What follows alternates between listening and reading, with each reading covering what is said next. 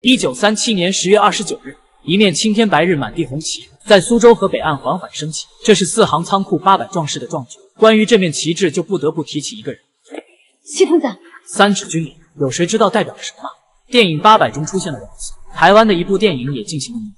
这是八百壮士中的杨慧宇，不过比较吸引我的是他的扮演者。河里有炮艇，我从五百码之外游过去，日本人不会注意的。上了岸，我就往仓库里跑。从军，人家还用不着我呢，我是童子军。